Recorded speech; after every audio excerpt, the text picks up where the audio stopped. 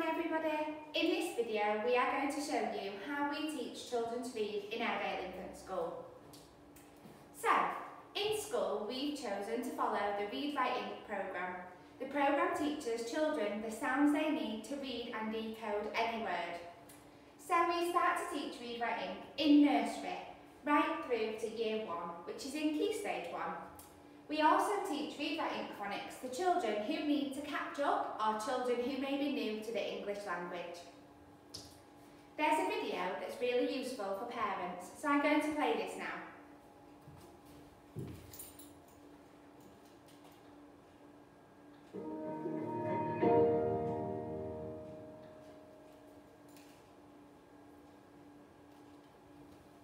This film will help you understand how Read Write Inc phonics helps your child learn to read quickly and easily.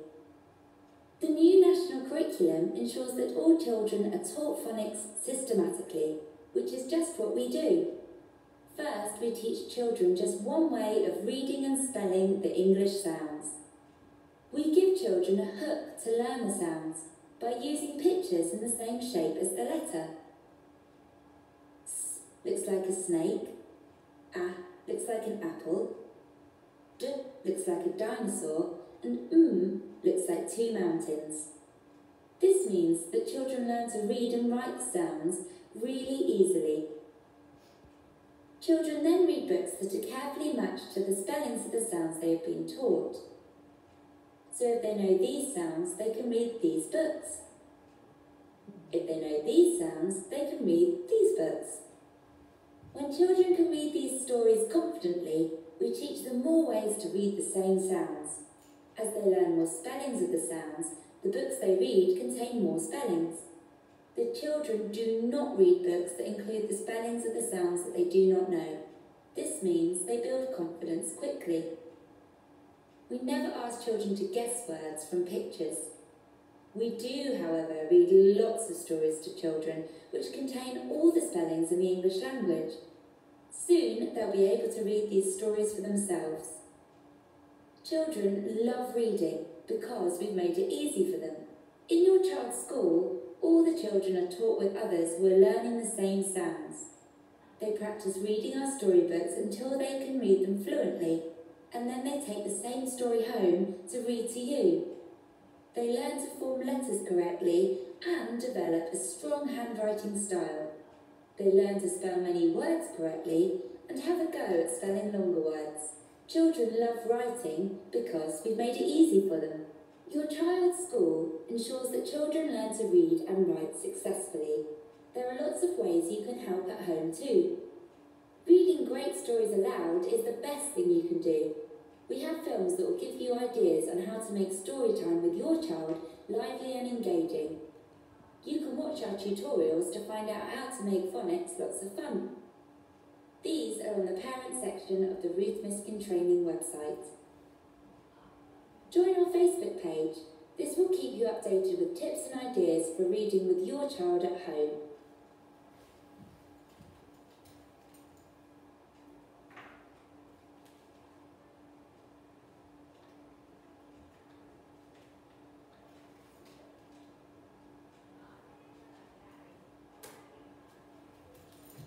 So, in the it explained why we teach children to read and how we do that using the sounds.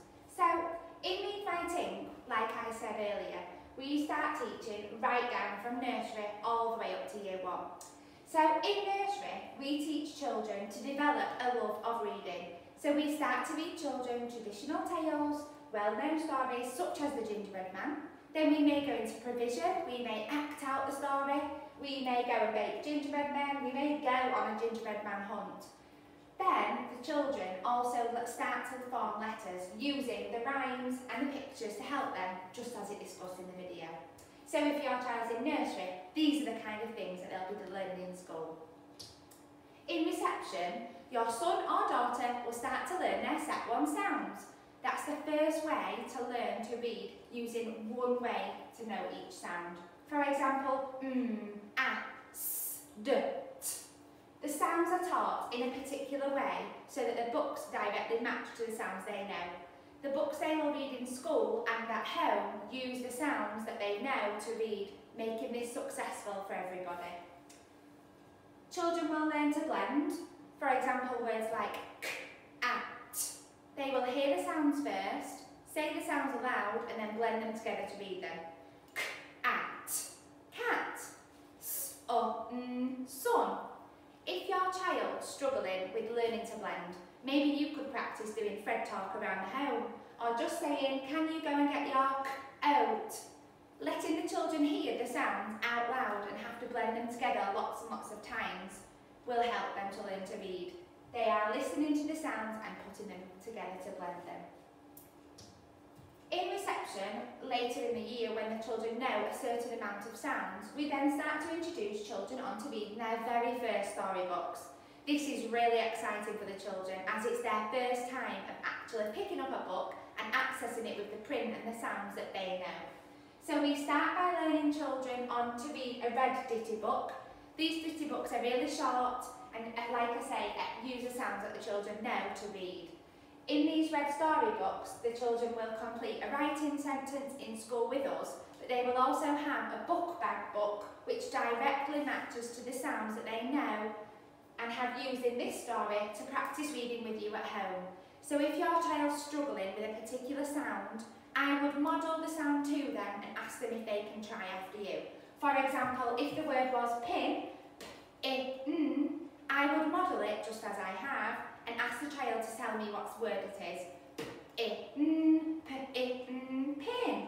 Just encouraging your child to segment the sounds and blend them back together to read them. Here is a red ditty book. As you can see, the print is very successful for your child to be able to read. There are only three pages per story, so quite short, but again, ensuring that your child can build their confidence and become speedier at reading. Now, on to year one. In year one, children are learned to read, learn to read their set two and set three sounds. This is where children begin to learn sounds where they have two letters that make one sound, and we call them a special friend. Words and sounds such as A in play or A in cake. They are the same sound, but they are spelt or made up in different ways. A in play is A-Y, but A in cake is a split diagraph, an A-E. So we have to teach the children to learn these sounds using the pictures and the rhymes to help them. I'll give you an example. A sound such as Oi, a toy for a boy. That sound is an O-Y sound. Oi, toy for a boy. Just down here. Then, when we move on to set three cards, we also have the same pictures, the same rhymes, and the children learn to read both sides of the card. I spoil the boy, I. I spoil the boy, I. Children then, when they learn a sound, will be able to apply this directly to their reading and to the stories that they access. So in year one, we continue upon the learning that the children have completed in reception. They will have read up to green stories in reception and hopefully ready to start with us reading more tricky, tricky sounds in books, such as pink storybooks, Tab the Cat. The text starts to get a little bit trickier, but again, as I've said, using the sounds that they know.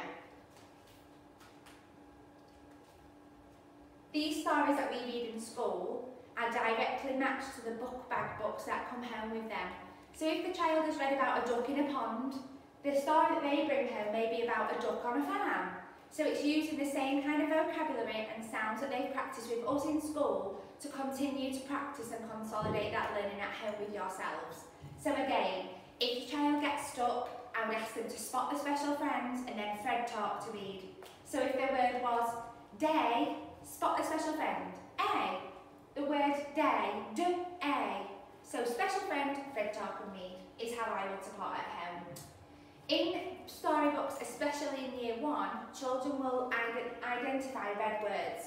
These are words such as the or said, words that you can't Fred talk out loud to read. So if I use my sounds, it wouldn't make sense. Said, said? No, the word is said.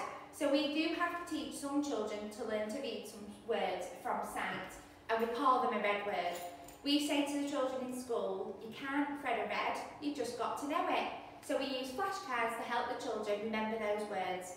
Again, in the back of your book bag book, there are opportunities for you to practice reading these red words. So, when you are reading at home with your child with their book bag book, if they're not sure on spotting a special friend, see if you could help them. Where are the two letters that make one sound? For example, in the word night, there are three letters that make one sound, I-G-H. So I would ask the child to spot the special friend and then Fred talk to read the word. Ask your child when you are reading with them, right, what happened at the beginning of the story? Now what happened in the middle? And what do you think is going to happen at the end, before you read the end of the story? This is developing skills such as comprehension skills, checking their understanding of the text, but also checking to see if they can predict what might happen next. It's also something you could ask the end of reading the book. You could also ask your child what was their favourite part. Is this similar to a story that we've read before at bedtime? Or you could just simply discuss the characters who was the goodie? Who was the baddie? Why did you like that character? All that discussion around a text ensures that your child is understanding but also developing that love for reading because they're discussing and enjoying that with you too. So, Read by Ink not only learns our children to read, it also teaches our children to spell. So in Read by Ink, we use the sounds that we know to spell words. So if today I learned my children in my group the sound A, we would learn to spell words with the A sound too. We do this using our Fred fingers. If the word was play, I would ask the children to say the word out loud and count how many sounds they can hear. P, U, A. P, U, A. I ask the children to keep saying the sounds and to pinch them on their fingers. When they've pinched them on their fingers, we ask the children to then use how many sounds they have to write them down. So I would ask the children to write P, U. If they got stuck, I'd remind them to use their Fred fingers. P, U, A. What two letters makes the A sound? And the children would write that down. If you are struggling with Fred fingers, please speak to your child's class teacher and we will always be happy to discuss this further with you. There are also some helpful tips in the parent guide which is on our website. So, the importance of bedtime reading. Although it's important for us to learn children to read using the sounds that they know, it's also equally as important, if not more, to read to your child at bedtime. This may be a favourite story that you had as a child, it may be a story that you've learned from the library at Airedale or from our school library. Reading children stories exposes them to a wide range of new vocabulary.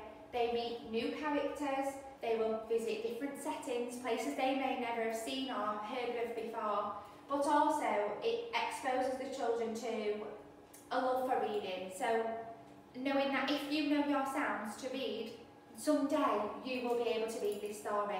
It's wonderful at a point within year one where the children realise, oh wow, mum or dad, I can read that word. So the children will be able to start to spot the words within text and enjoy that with you at home maybe even help you out to read it. There's a lovely quote that I love just here. The more you read, the more things you will know. The more places you learn and the more places you will go. So, what is the phonics screening check? In year one, children are tested at the very end of year one in June to check that as a school we have taught your child the sounds that they need to learn and to read any word. So the phonics screening check consists of 40 words. 20 of them are real and 20 of them are alien. This is something that we do practice every day reading real and alien words within read writing time. But this assessment just double checks, just double checks that we are teaching the children the sounds that they need to be able to read. So, if you would like any extra support, we have a reading page dedicated on our website. If you click on the link, airedaleinfants.com,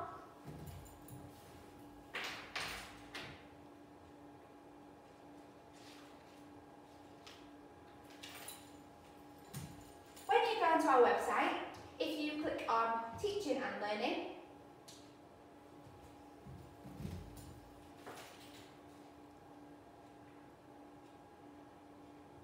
curriculum overview and reading and phonics is just here.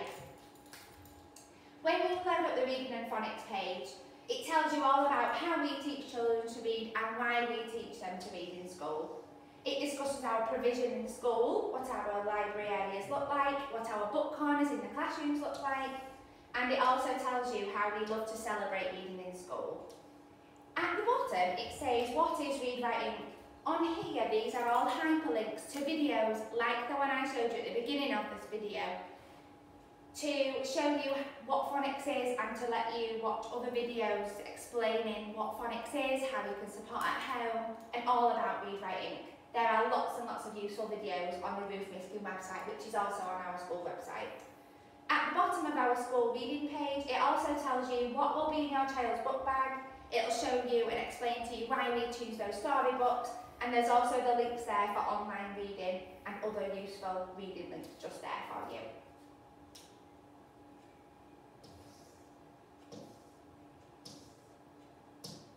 Now, in school, our aim is to learn, teach children to read as quickly as possible, but then to keep them reading forever. We do this by ensuring that we read to the children every single day in school and teach them phonics every day so they learn to read the sounds that they need to be able to access any storybook. If you have any questions, please speak to your child's class teacher or make a telephone appointment with myself who will be happy to discuss this further with you. Thank you for watching everybody. I hope this was useful. See you later.